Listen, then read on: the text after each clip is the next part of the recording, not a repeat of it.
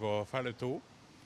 J'ai trois questions. Est-ce que vous pensez que j'ai ce qu'il faut pour être premier ministre? Deuxièmement, est-ce que j'ai la crédibilité pour le faire? Puis troisièmement, je suis passé date.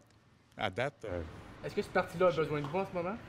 le parti a besoin qu'on redevienne un parti. On a besoin, regardez, moi j'ai vécu la débandade après Turner en 84. Euh, on a besoin de penser au membership, on a besoin de ramener tout le monde et puis euh, on a besoin d'idées. Mais est-ce que vous ne pensez pas qu'il faut quelqu'un de plus jeune pour donner un renouveau au parti ou quelqu'un qui peut-être. Je vais poser la question à tous vos collègues journalistes de 60 ans et plus. Est-ce qu'ils sont passés date?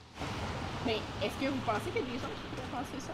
Il y a des gens qui vont penser ça, mais le renouveau, on l'a essayé, ça a donné Québec solidaire à 15% Alors, à un moment donné, on n'est pas l'oppo- on défait pas l'opposition, on défait le gouvernement. Et puis, les gens, ce qu'ils ont besoin, c'est de stabilité. Vous avez euh, plein de gens au-dessus de 60 ans, de 50 ans.